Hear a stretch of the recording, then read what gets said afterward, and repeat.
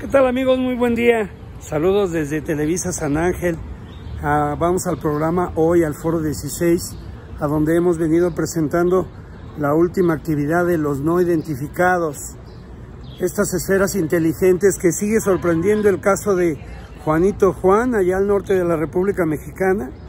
Este investigador, esta persona que sigue captando las esferas inteligentes que se acercan a las casas literalmente.